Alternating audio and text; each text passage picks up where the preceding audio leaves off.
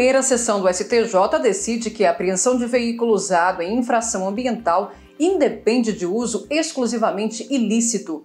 O julgamento foi feito com base no rito dos recursos repetitivos e vai orientar casos semelhantes em todo o país. O processo teve origem depois que o Instituto Brasileiro do Meio Ambiente e dos Recursos Naturais Renováveis, o IBAMA, apreendeu um caminhão utilizado na extração ilegal de madeira e o proprietário pediu a liberação do veículo. O Tribunal Regional Federal da Quinta Região entendeu que a retenção só seria justificável quando a posse do veículo em si constituísse ilícito. Já para o IBAMA, a Lei 9605 de 1998, que dispõe sobre crimes contra o meio ambiente, determina a apreensão do instrumento do crime ambiental, seja lícita ou não a sua posse. Por isso, a autarquia recorreu ao STJ.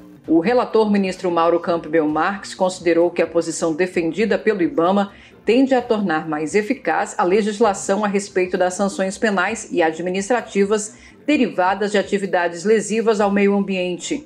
O ministro também destacou o precedente da segunda turma nesse sentido.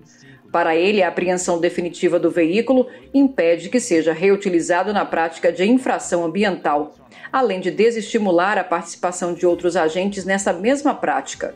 Desta forma, a primeira sessão manteve o ato do IBAMA e, como essa decisão foi tomada sob o rito dos recursos repetitivos, o colegiado firmou a seguinte tese: a apreensão do instrumento utilizado na infração ambiental, fundada na atual redação do parágrafo 4 do artigo 25 da Lei 9605 de 98, independe do uso específico, exclusivo ou habitual para a empreitada infracional. A tese vai orientar os julgamentos de demais casos semelhantes em tribunais do país.